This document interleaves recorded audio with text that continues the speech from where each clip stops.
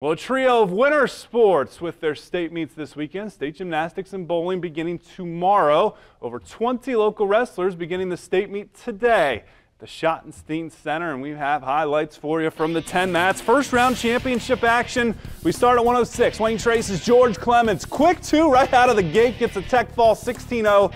He's moving on. 113. Coldwater's Jay Ulenake the escape, but he goes 0 for 2 on the day to close out his season. 126 now Versailles. Matt Mangian going to tie it at three here in the second period. He wins 6 to 5 into the quarterfinals. 120 now Liberty Benton's Tyler Seresta. Two points, goes up 3 0, holds on, wins 3 to 2 to advance in the quarterfinals of the championship bracket. 126 again. Cav Spencer Seibert down 6 0, gets two, falls twice to end his season today. 160, the lone NWC rep it is Austin Wendell. Gets out of the pinning combination here, does get tech fall, but Wendell does stay alive, wins his second round match. 145, Wayne Trace's Tyler Showalter.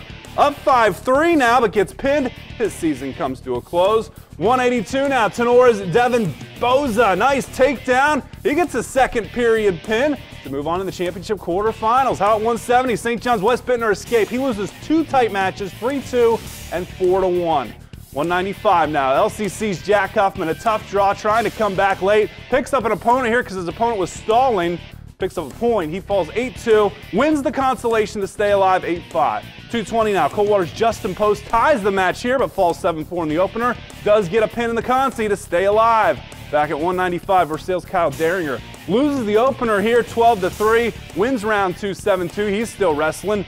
Tough day for OG's Derek Ebiscotti. Shoulders down twice wrapping up a great year for the Titan. How about Division Two? Shawnee's Hunter Lucas. Takedown here right out of the gate. Holds on to win 6-2. He's still perfect for the season. He's into the championship quarters. 113, Elida's Blaine Hunter escapes falls 10 to 5 in the opener. He wins his consi. He's still wrestling tomorrow. Finally, 120 Bath's Colin Ingram, the takedown. He wins 8 to 4 in the championship first round. Other winners in the first round today Van Buren's Chance Sonnenberg and Indian Lakes, Heath Lang and Reese Walbrown. Shawnee's Dylan Hefner also win. Van Wert's Zach Thomas staying alive as he goes 1 and 1. So does Wapak's Dallas Ambus, Colton Brown, as well as Indian Lakes' LJ Henderson.